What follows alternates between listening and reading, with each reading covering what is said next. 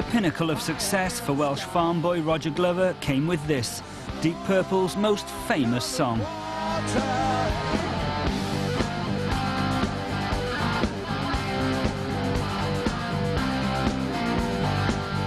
It was the centrepiece of their biggest-selling album, Machine Head. The album was due to be recorded at a Lake Geneva casino when it burned down. Smoke on the Water, the words came to me a couple of days after the fire uh, in a sort of half-awake state. I, was, I, woke up in bed and I said out loud to an empty room, Smoke on the Water, and then I opened my eyes. Did I just say something? What did I just say? Smoke on the Water? What the hell's that? Together, Roger Glover and Ian Gillan penned what was to become one of the best-known rock songs ever.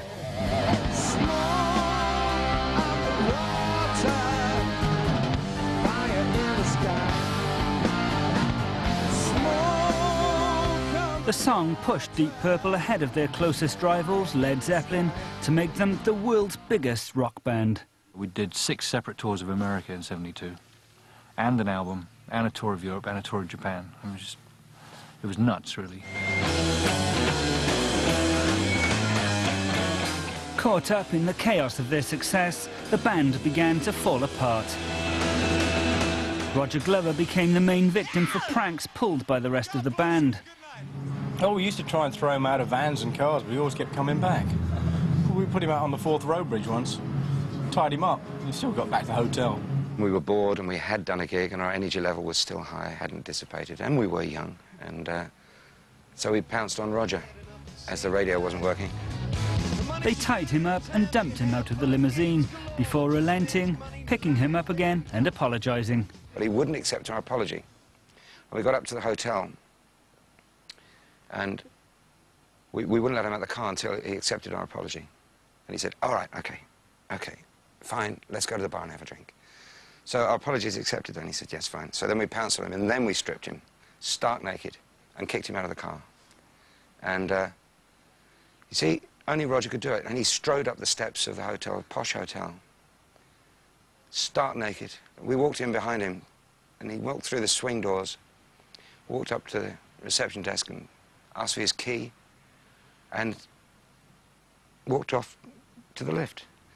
And we came in behind him, and there was a frozen tableau of uh, sort of dinner-suited guests holding glasses of champagne or whatever. It, it was incredible, just incredible. But sometimes the horseplay between band members was more destructive. One particular incident happened in an ancient mansion in Devon and involved unpredictable guitarist Ritchie Blackmore. Ritchie was going to have a seance in sort of fairly close to the room where I was sleeping. And he came, knocked on my door after about half an hour. Um, must have been, I suppose, one in the morning now. And he said, can we borrow your crucifix? I used to wear a crucifix then, for no reason particularly. It was just someone had given it to me, I liked it.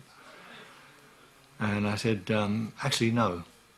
Uh, I don't want anything to do with what you're doing. Good night. Closed the door, went back to my book. And there was an almighty crash and I saw the head of an axe disappearing. It had come through my door, and it was being jemmied back out again. And a couple of seconds later, and the whole panel came out the door, and this axe was there. What the? Leapt out of bed in my underwear, went to what was left of the door and opened it and saw Ritchie running away. Furious at Blackmore's behaviour, Glover picked up a chair leg and chased the guitarist through the eerie corridors. He eventually cornered him. And in my anger, I didn't really know what I was doing, and I came to, and I had my one hand round Ritchie's throat, and the other holding this chair leg, and I was just, I was going to brain him. And then I sort of suddenly realized, and he's going, Rog, it's me, Rog. And I, ah. Said something really weak, like, don't ever do that again, and stalked off to my room. Blackmore's erratic behaviour and Gillan's heavy drinking made for an uneasy atmosphere in the band, but their success continued. And by 73 we were we were the biggest band in the world. Uh, Billboard magazine I've still got the plaques. We were number one group sales and number one album sales of everyone. We sold more than Zeppelin the Beatles Presley you name it that year um, and it's how ironic that we deteriorated. I mean, we become so dysfunctional that Ian Gillan and Ritchie just weren't talking. Ritchie and I used to squabble. So Roger would always go, well, look at it from his point of view. I go, what? Why?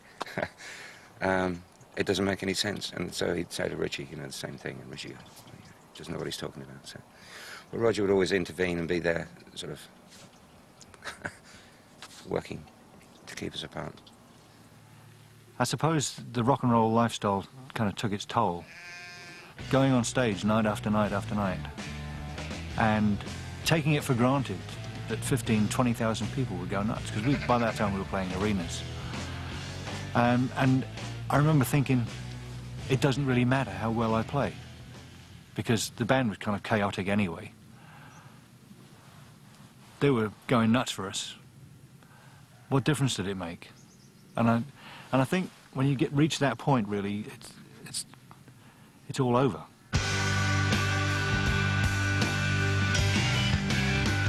And I put my fist through a glass window and I just found myself in a gutter just going nuts and crying, un uncontrollably crying. With Deep Purple disintegrating, Ritchie Blackmore threatened to quit. And I had no idea uh, how bad it was until I realized that no one was talking to me anymore. Uh, no one was talking to me? Why? I was left out in the cold. And I was just really depressed. I knew something was up. Basically, Ritchie decided to stay, but only if I left. And I could never figure out why. I'd never had any bad things with Ritchie. Ritchie said not a word to me, except on the stairs of that last gig. I was going up and he was going down, and he paused and he said, by the way, uh, it's not personal, it's business. And carried on.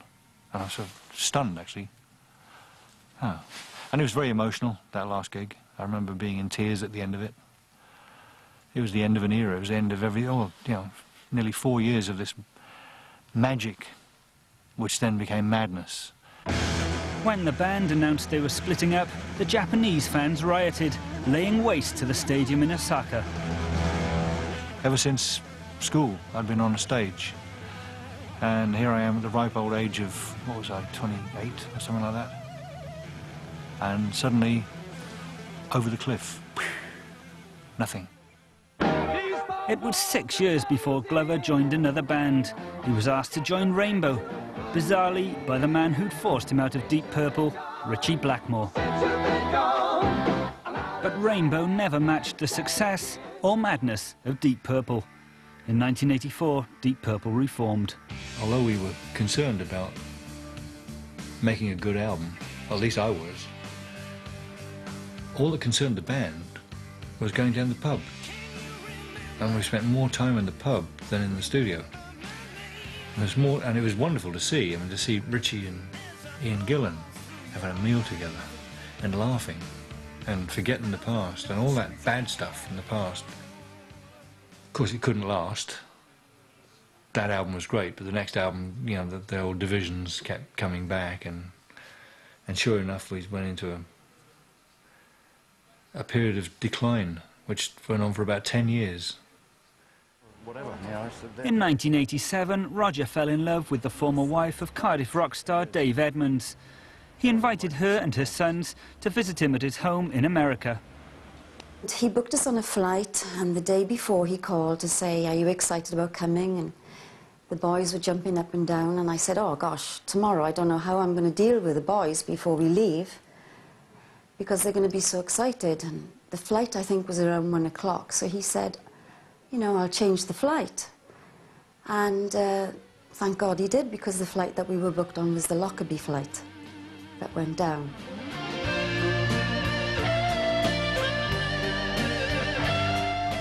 And I thought, well, what's important in my life? I just almost lost something that was really that important to me, and it, that's when I proposed to her.